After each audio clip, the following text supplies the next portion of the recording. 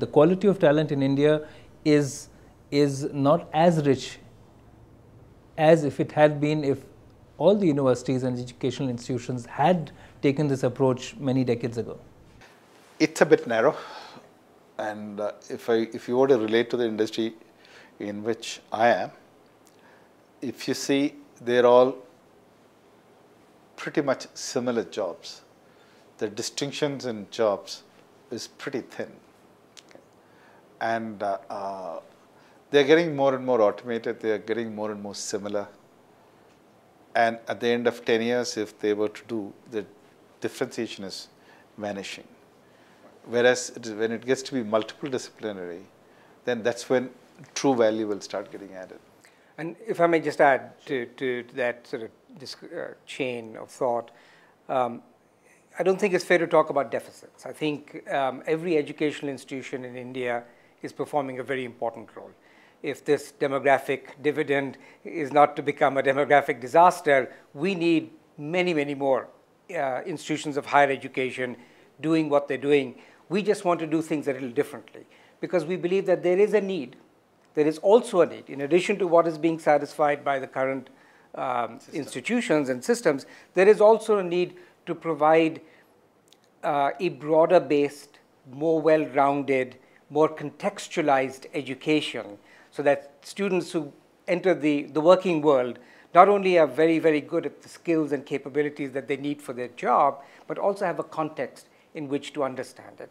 I think if you go and speak to the heads of HR of the technology companies or other corporates, they'll tell you that there's no shortage of engineers in India. What they, what they don't have are managers.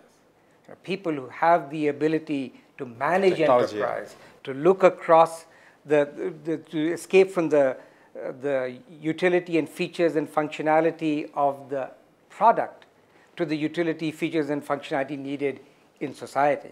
And I think that's what we want to try and aim to fulfill that need, which is still, we believe, not fully met by uh, the rest of the, the environment, which fills a certain need, but we're fulfilling a different kind of need. We also want to prepare students in an interdisciplinary fashion at the very beginning of their academic careers, which is to start with the inter undergraduate curriculum and to require students to take courses in multiple disciplines as a process of their education.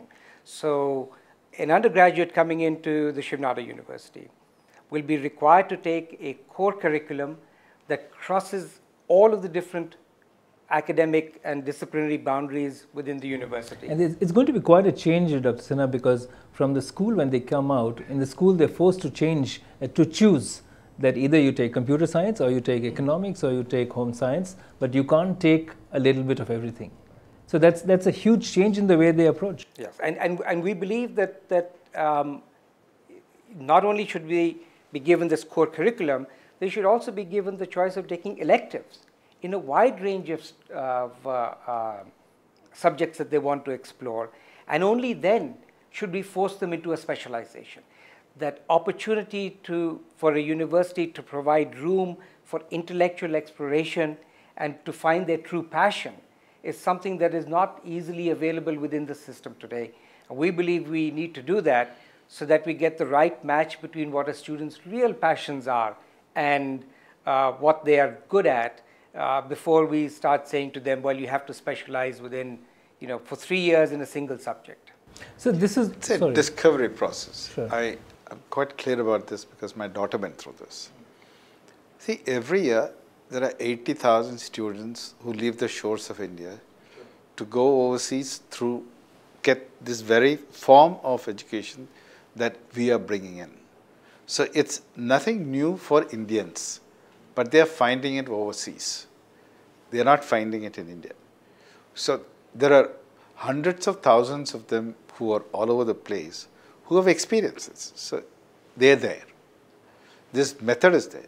It's just that it's not here available in India at the price at which it should be offered here. It, it won't cost less than $150,000 for you know, for a student to go through similar education anywhere overseas. That's what actually is we are enabling here. So will the cost of education in your university be significantly lower, or do you think that you're offering the same quality at similar prices but within India? Mm, we're not price, we're not, we're not going to be price related. That's a new subject. If you want, he will talk about it. Sure. We are going to be pretty much uh, blind to what someone has the ability to pay. That means if a student is selected, money will not be the reason why he won't be able to pursue SNU, Shiv Nadar University. So that means there won't be a limit In on scholarships SSN, or support? Yeah, there won't be a limit. SSN actually follows this even today. Right. You know, yeah, in Chennai. So that's something that, you know, this is a philanthropic uh, initiative. It's not an initiative for, you know, with money in mind.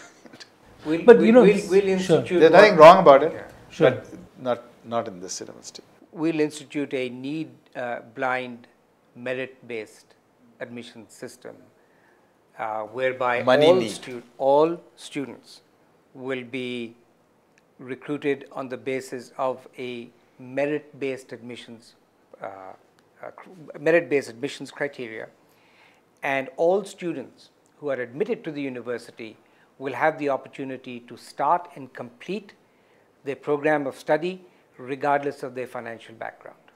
I want to take a couple of broad uh, issues concerning this. You mentioned philanthropy. My question to you, sir, is that is this just philanthropy or do you see this also as an opportunity for industry leaders like you to shape the future course of education, which is also a little bit in self-interest because you want to ensure that groups like yours continue to get high quality talent, which is so essential if you want to grow at a certain pace and if you want to grow at a certain quality? We have experience in this, in the sense that SSN, when we have instituted, SSN is in the, you know, feeding the software industry itself. But HCL is a very small component of where they go to. Right. You know, it's not that 700, 800 students come out and they go to HCL. Less than 100 go to HCL out of their choice. You know, they all have multiple jobs in hand. So to us, we feel that there is need to build leadership into the society, particularly where we come from. So we thought that, you know, we would go, our entire student selection process itself, you know, I don't know whether you heard him say, we are going to recruit students you don't say we will admit students. Okay? We are going to choose them. And uh, uh, we are going to choose the students who will be most suitable to a curriculum of this nature, method of teaching, the body of teaching, the entire persona that we are trying to create. And it, it's a multi-layered admissions criteria that uh, pays, uh, has value uh, placed on academic achievement, but in addition to that, has many other components to it. So that again, we're looking for the well-rounded, exceptional student for a well-rounded, exceptional education. I hope they don't go to the corporate world, but go and join the public world.